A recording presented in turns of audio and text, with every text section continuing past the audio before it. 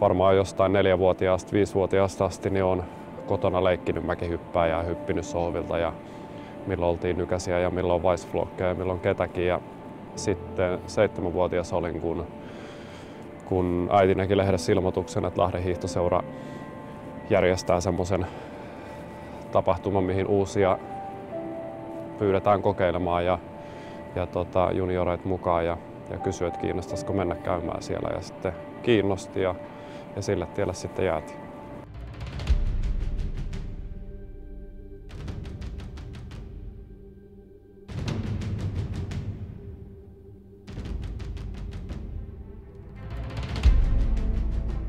Tämä taisi olla kuitenkin semmoinen paukku, että nyt mennään Lillehammarin saakka. No, sitähän nyt ei vielä osaa sanoa toivota. Okei, okay, onneksi olkoon. Kiitos. Onhan se sellainen kunnianhimoinen ja päättää jotain, niin sitten se tehdään vähän vaikka väkisinkin välillä, mutta tota, nuorempana siellä meni kaikki samassa, samassa letkas teki juttuja, mutta ehkä sielläkin oli jo varmaan sellaista niin kuin tietynlaista ammattimaisuutta tavallaan enemmän verrattuna moneen muuhun. Että otti tosissaan kumminkin silloin jo heti alusta, niin kuin alusta alkaen kaikki. Että onhan se ollut sellainen sinnikäs nuorenakin. Silloin jo nuoruudessa, kun Pasikin vielä hyppäsi ja molemmat hypättiin, niin, niin kyllähän siinä aina veljekset sitten tukee ja tsemppaa toinen toisiaan, vaikka meidän ikäero oli se neljä vuotta, että me juniorisarjoissa hypätty niin kuin samoissa ikäluokissa tietenkään, mutta tota, tsemppaustahan se aina on.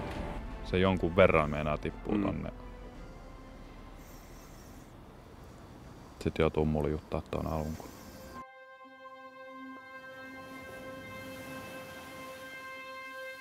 Mutta eihän ne ole veljeksiä eikä mitkään, jotka ei nuoru, nuoruudessaan tappele keskenään. Että tota, et toki meillä ka- kaikki sujuu aina hienosti ja meillä oli hauskaa yhdessä, mutta, mutta sitten sinne mahtui niitä taisteluitakin väliin. Että kyllä siellä välillä oli, oli tota nenät auki, kun vähän nenälyöntikisaa siinä joutui, joutui ottamaan. Mutta sitten mä olin isoveljenä reilu, kun meillä oli yhdet nyrkkeilyhanskat oli kotona, niin mä olin reilu ja annoin, annoin pikkuveljelle, että saa hienot nyrkkeilyhanskat käteen, että mä voin olla ilmankin.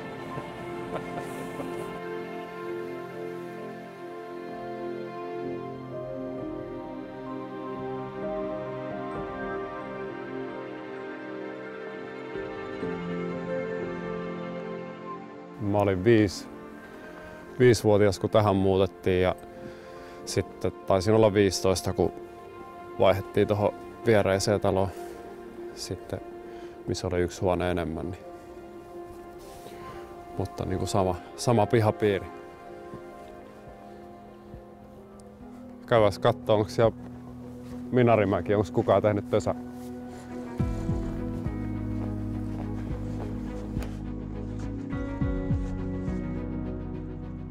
Tässä huuvattiin äiti tuu ikkunalle, täällä huutaa Janne.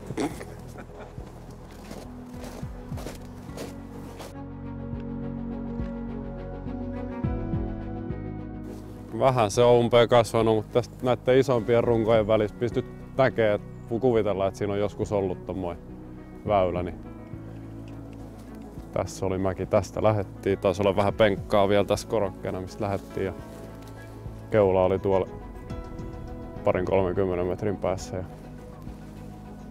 tää oli, tässä oli varmaan niinku isoin, tai mistä pisimpää pystyi hyppäämään. Rungothan siinä tietysti oli puut lähellä silloinkin, mutta tota, ja niihin puihin ja runkoihin ollaan kyllä monta kertaa osuttukin. Ja ei, sillä me varmaan mäkimiehiä tulikin.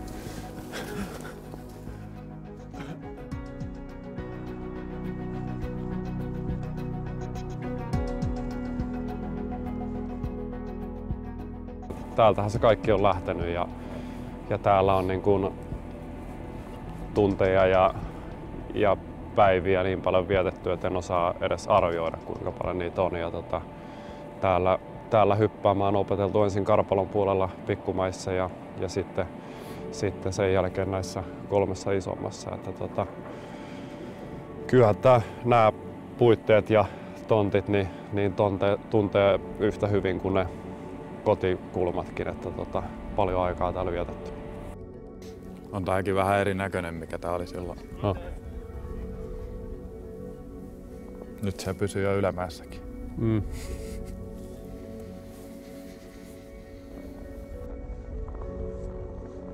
Silloin tota ihan pienintä mäkeä ei ollutkaan, kun me aloitettiin.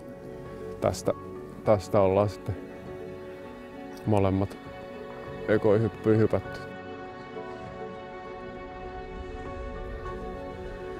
Joskus se näytti hurjalta tääkin mäki, mutta tota, niin se, siinä kaikki muuttuu.